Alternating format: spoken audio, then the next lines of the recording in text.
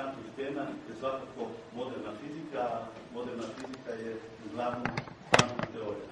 Od kvantne teorije, e, kvantna fizika se predaje na fakultetima na dosta formalistički način. Znači, to je vrlo matematizirana teorija koja zahtjeva dosta, dosta manipulacija sa, sa kompleksnim matematičkim pojmovima i na taj način e, je teško dostupna široj publici, a istovremeno je jako izazovna jer je vrlo različita od standardnih znanstvenih teorija, na primjer nije kauzalna, nije lokalna teorija, tako dalje. O tom svemu ćemo puno više čuti od Tomsa Živkovića koji se e, već koji se čitav život bavio u kvantnu teoriju molekula na institutu Tuđe Bošković. E, sam je vrlo dugo promišljao osnovne pojmove kvantne teorije jer je svoj doktorat napisao pod temom, pod naslovom prostor i vrijeme u kvantnoj fizici i kvantnoj teoriji. Kvantnoj teoriji. Među što je stvarno interesantno, interesantan naslov, ne znam poslije koliko je imalo impakta, ali nadam se da će još uvijek on doprinijeti u fundamentalnom sagledavanju kvantne teorije. U tom smislu e, nadam se da će on biti naš predavač i da će voditi jedan kolegi koji će biti više povezan sa, sa povijesti kvantne fizike. I u tom smislu je ovo današnje predavanje gdje bez velikih matematičkog formalizma vidjet će koji su bili problemi klasične fizike, zašto je, kako je, kako je nastala kvantna teorija. Ja mislim da je suglasan da tokom predavanja se mogu postaviti pitanja. Duljina trajanja je u principu dva sata. Na tome imamo, ležerno je da se uključite u diskusiju i to je na neki način i cilj da ljudi slobodno, se osjećaju slobodni, da pitaju ono što ih je mučilo, što nisu na normalnim kursima na kojima su bili, su mučila se pitanja, a nisu se usudili ili nisu ovaj, imali prilike da pitaju takva pitanja. Na tome ovaj, Tomislav je spreman da stvarno pokuša odgovoriti na ta pitanja. Tako da se nadam da će ovo biti početak jedne duže e, serije ovakvih iskustava kroz ovaj kolegi, a i, i dalje nadam se će nastaviti ovakve tribine i sljedeći semestar sa sličnim temom. Evo, znači, ovaj, Tomislav Živković je čita svoj radni vijek proveo kao zaposlenik Zemlje Bošković. Znači, evo,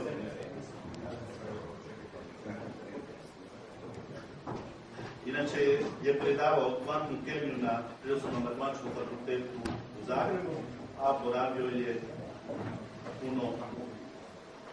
kvantnu fiziku u Americi si to predavao, gdje je u Houstonu, u, u, na Sopeci. Da, predavao se jako puno u Texasu, ovaj, često boravio. Dobro, evo, na tome da ne, ne, ne vremena, možemo početi i uh, u svakom slučaju želim bih da što više sudjeluju će se postaviti pitanje.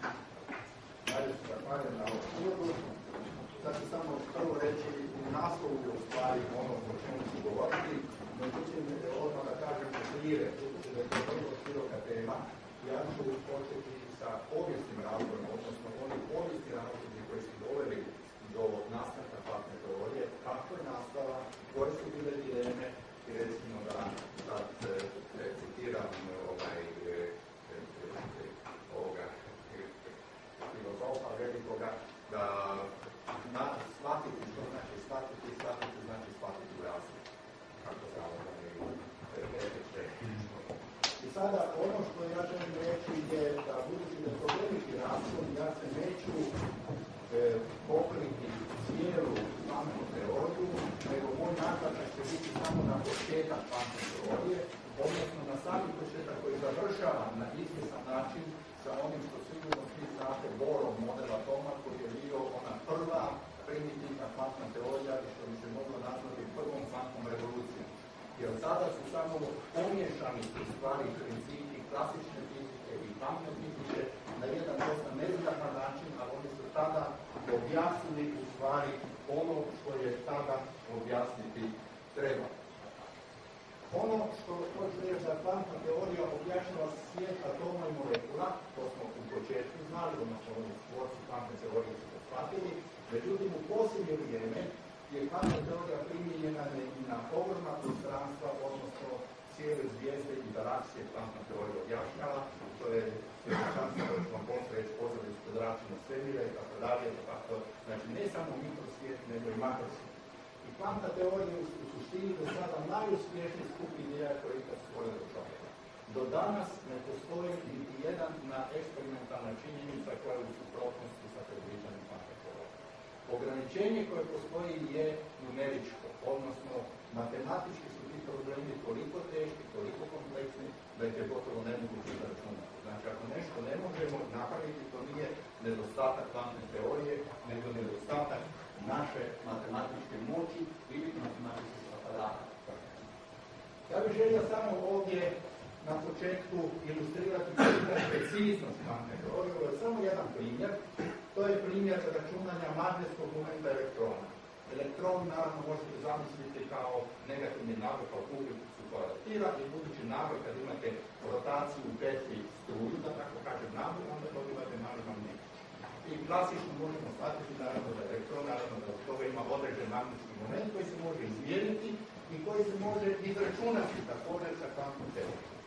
Ovo je kvantna teorija predviđanja kolike magnetski moment elektrona, ovo je iznimno razlika je samo u posljednjoj vode. Ali eksperimentalna greška je već od toga, znači kvantna teorija je vjerojatno Ovo da si predočimo koliko je to točno, sad sam ovdje rekao, da je ista precizno kao kad bi mjerili udaljenost od splita do Njurka sa točnošću od jedan Znači i unutar toga je to točno, vjerojatno je to točnije nego Međutim, ono što je nezgodna stvar, ovo imate jedan broj elektrona, vrlo mali tako dalje, trebalo je jedno šest godina da se ovaj račun Stvar je u matematičko, a to je samo elektron, to nije to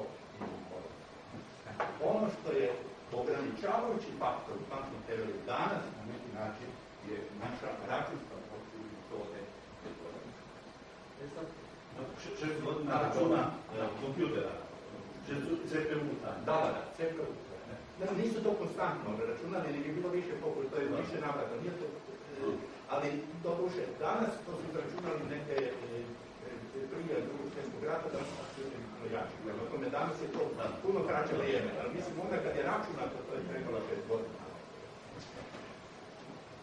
Što je nije zbog kazao, mislim, to je potpuno točno, da oni koji nisu šokirani kad se prvi put susredu statnom državnosti jer ona ima vrlo, to ćete vidjeti, vrlo neobične postavke.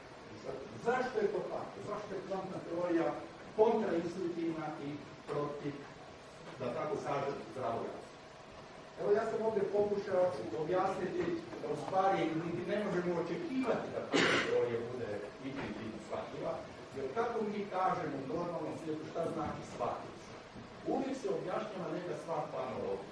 Kažu vam taj stroj radi tako i tako pomoću nečeg drugog što vi znate da radi tako. Ako kvantna teorija radi nekako kako ništa u našem svijetu ne radi, onda ne možete objasniti. Jer analogija ne postoji. A zašto ne postoji?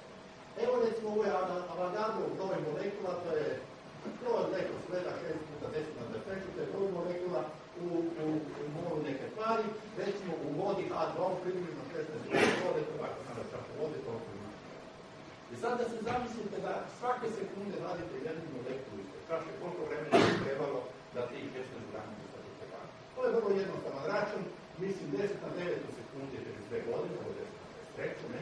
10 na 18 je 42 milijarde godina, svemir je stara nekih 13 milijarde godina, prema tome ovo je više od 10 na 18, na kraju ispada da bi trebali ne koliko je star svemir, nego 500 tisuća puta duže nego što je starost svemira svake sekunde vadi jednu molekule vode da izvadite iz Prema tome, ja mislim da oni se dobro ilustrira da je apsolutno arogantno očekiva da zakon u mikrosvijetu budu isti kao zakon. To je toliko udaljeno od nas. Da moraju postati neki Zakoni koje mi vidimo su fenomenološki. Oni su stvar bio onih mikroskopskih zakona koji su nama nepoznati, a koji djeluju drugačije nego zakoni na makroskopskom svijetu.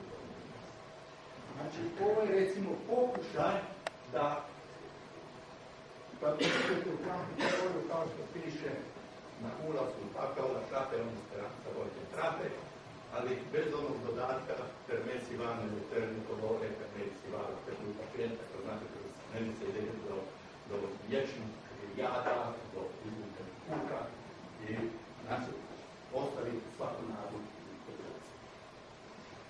Ovo je vjerojatno jedan vrlo dobar opis teorije, i jedan razlog moderne znanosti njihov dublji utjecaj na ljudsku misao kao kvantna teorija.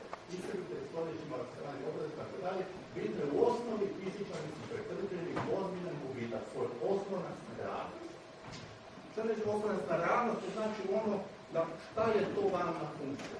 Da li je to nešto realno, da nije, tako ono je kompleksna, kompleksan broj, nije realan broj, kad god nešto mjerite, nikad ne mjerite drugi koordin izmjeni vi uvijek izmjerite nešto što je realno. A ona je inherentno kompleksna funkcija. Za razliku od glavnih funkcija u našem svijetu, valovi na vodi, valovi i tako dalje, koji se mogu radi matematičke pogodnosti opisivati kompleksnima. Je samo matematička pogodnost. Oni se mogu prikazati u realnom vodu. Glavna funkcija ne može. Inherentna.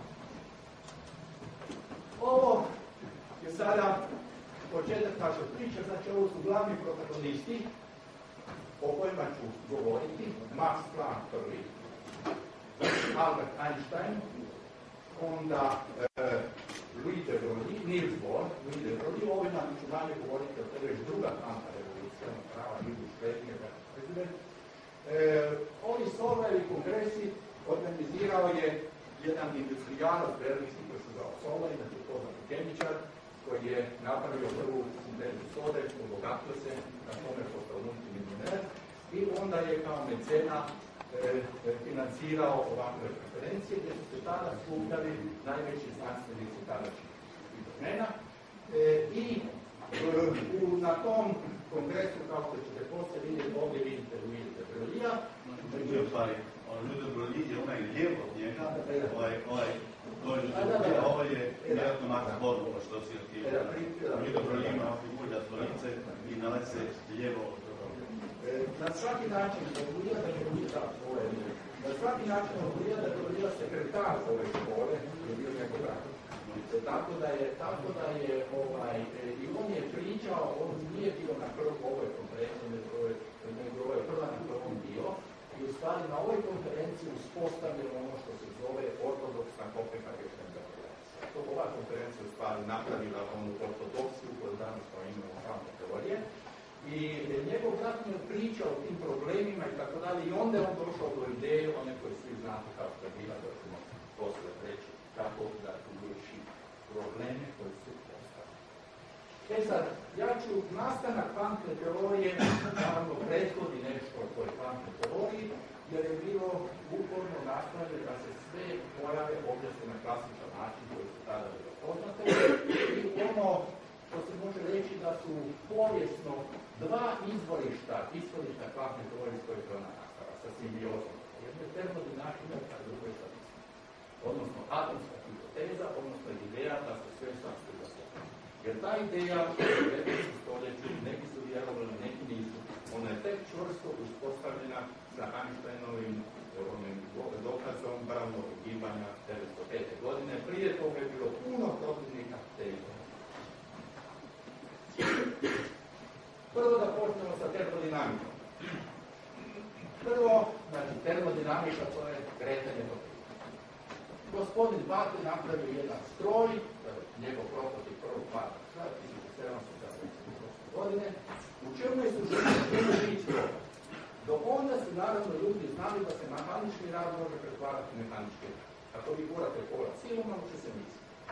Ovo je stvar da ste vi toplinu pretvorili mehanički rad. To je suštinski nova i to je sad trebalo razviti, znači toplina je nešto poput mehaničkog rada. Znači iz topline se može dobivati energija na koju niko nije znao to tada.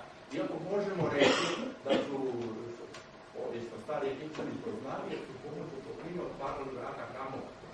To su detalji koji su se izgubili u sjećanju ljudi da, je, da su na taj način to I on je napravio prvi stroj koji je funkcionirao i koji je stvarao toplinsku